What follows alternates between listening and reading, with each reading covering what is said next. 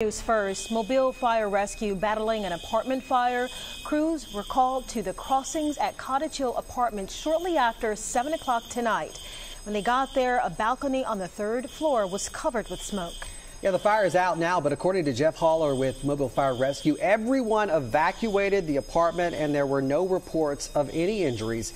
The cause of that fire still under investigation.